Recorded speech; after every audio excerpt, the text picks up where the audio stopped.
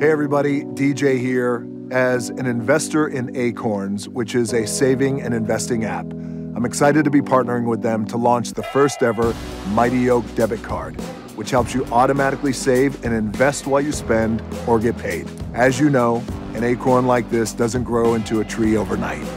It grows little by little every single day to become the mightiest tree in the forest. Well, the same goes for your saving and investing for your future. You save a little here, you invest a little there and with the power of time, your small investments have the chance to grow into something much mightier. And that's what the Mighty Oak debit card and Acorns make possible. While other cards are built for spending, ours helps your money grow with two of the highest APYs available.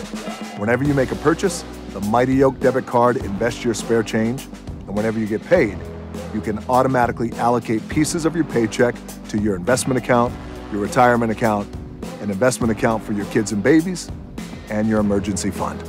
Acorns and the Mighty Oak debit card are resources that I wish I had access to back when I had seven bucks in my pocket. And that's why I believe in this today.